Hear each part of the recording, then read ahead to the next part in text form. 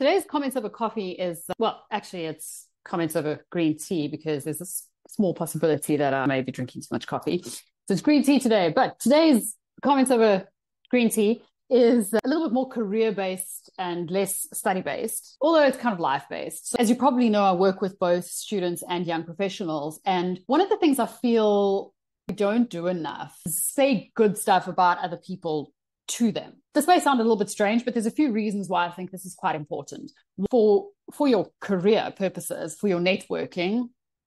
And the other is be part of making the world a better place, quite frankly. okay, so let me talk about the career stuff. What am I talking about? Um, we interact with people, both work wise and non work wise, on, on a constant basis.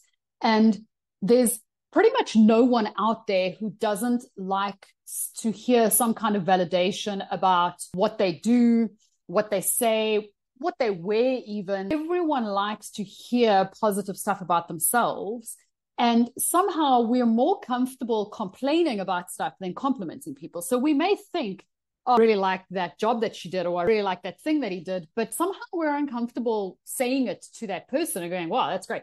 And there's a couple of reasons for that. One, it's just not something we really do. For some reason, we kind of have a feeling that it's a little lame or unnecessary, or maybe that the person doesn't really care. Why should they care what we think anyway? Maybe it's going to come across as condescending. So there's a couple of reasons that we may not do it. And possibly we just haven't actually thought about it. In in the world we live in, we're so used to stress and the, the responsibilities and, and just so much obligations. We're very used to thinking about stuff from our perspective, which is I need this, I need that, I need to do this, I've got to do this, I've got to do that. Someone expects something from me. So it's not actually very often that we think about things from another person's perspective where we go, how do they feel about that thing? They worked really hard on that thing and that's pretty cool. How would they feel or how would I feel if I was them? It sounds so ridiculous, but it's kind of true. When you start thinking about what other people are doing and how it would feel if you were them, hearing, hey, good job, or that's great, or I really like the way that you did that. It's not condescending. When people give us a compliment, we like it. It's great to hear that the work that you're doing is validated or people like it or and somehow we're really good at lurking in the background. And the only time we step forward is when we go, that's not great. I don't like that. Why did you do that? Or we just keep quiet and we just keep quiet entirely. In terms of career wise and networking, we underestimate the the impact of creating relationships with the people we work with. If you're doing articles and you're in first year articles, for example, take a look at your fellow first year article clerks. Where are they going to be in 10 years' time? Where are you going to be in five, 10 years' time? None of us really know, right? But the person sitting next to you, your one of your fellow first year clerks may be the CFO of some list, listed company and five, six years down the line, you might be looking for a job. And if you're talking to them, if you're interacting with them on a professional basis, if you're connected with them, even on LinkedIn, for example, it opens the door to more opportunities because if that person's looking for, hey, we need a, an investment partner, we need a CEO, we need a CFO, we need a financial director, we need a consultant, we need to hire somewhat some company to do this would they rather employ?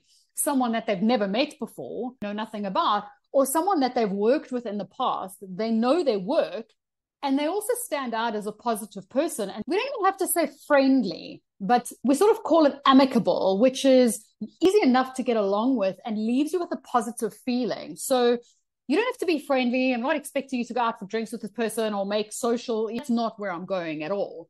But it's very valuable to create and foster an impression of positivity and of giving validation to others and thinking of other people in the workplace. You don't want to wait until that person is the CFO and you haven't spoken to them in 10 years and they go, Oh, hey, remember me, right? It's not quite the same thing. When we're still early on in our career, we tend to not really think about the fact that the students around us and first year clerks and second year clerks, managers or whatever, where are they going to be in 10 years?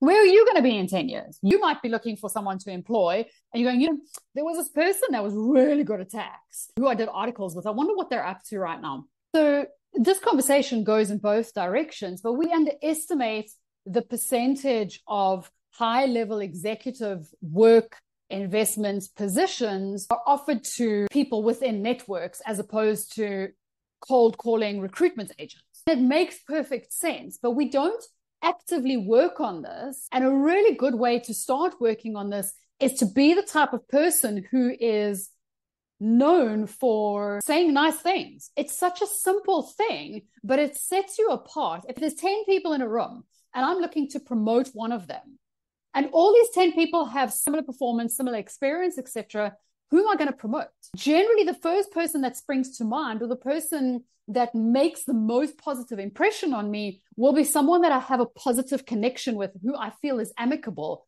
And it's very hard not to stand out if you're the kind of person who gives off those vibes and who is kind of known for being positive and saying nice things about other people. It's hard for you not to stand out and it creates a really positive impression with those around you, those above you, those below you. So it's a really smart habit networking wise to develop the skill of saying, well, I really like that. I saw that. I really like that. And you know, for me as a woman, I love shoes. If someone compliments my shoes, I feel good about that. The fact that we're in a workplace doesn't change that. Somehow, yeah, obviously, like between male and female, that can start seeming a little inappropriate. But one of my female colleagues comes to me and goes, Wow, I really like, oh, I love your shoes. I'm really happy about that because I love my shoes too. And it's really nice to know that someone else likes them. So other people would be in the same position. And it's just that small type of thing that it doesn't take a lot, it doesn't cost anything but it's just that impression of leaving someone with a little bit of a warm, fuzzy feeling that makes them associate you with a little bit of a warm, fuzzy feeling, which is nothing but positive, right? Not to mention the fact that I think it would be really great if more people actively created positivity as we know like there's so much negativity and there's so many challenges and there's so many stresses etc etc so it would be really great to put more positivity out there but i think in terms of the value and the benefit for ourselves we can add a lot of value to our career by something as simple as giving people compliments. I know an accountant who absolutely loves spreadsheets. And as weird as it sounds, one of the best compliments you can give him is like, wow, I really love your spreadsheet. he gets so excited about that. And it actually depresses him when he spends a lot of time on a spreadsheet and nobody appreciates the amount of work and fancy smart stuff that he's done in his spreadsheet so when he does create a spreadsheet and, and, and you go through it, you're going to make his day. You go, wow, that's a really cool spreadsheet. As ridiculous as it sounds, everyone likes being complimented and standing out in the workplace, being a positive force, being amicable. Again, I'm not saying you have to be friends. I'm not saying you got to really, really like the person, but being positive in terms of making people feel good about themselves cannot be underestimated as a valuable networking tool. Let people know if you like their stuff. And this relates to, to loads of stuff outside the workplace. When I read a really great book, I've started creating the habit of emailing the author. It sounds so weird.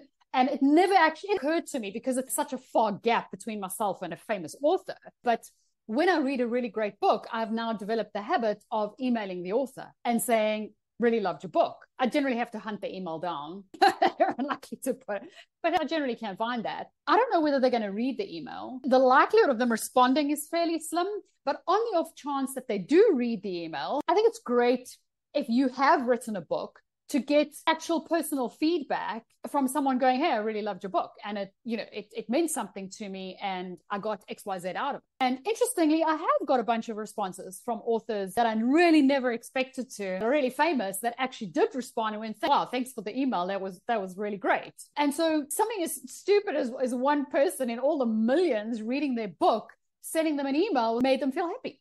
We don't think about that. But it's a really good way of creating connections, a really good way of leaving the world a more positive place, and a really good way of networking that's free, easy, and doesn't require you to have experience, qualifications, and like a fancy job title to do. So, task for the day find something to compliment someone else about. It's weird, it's uncomfortable, it does it does feel a little strange. Practice it, work on it, but it's a really great skill to have.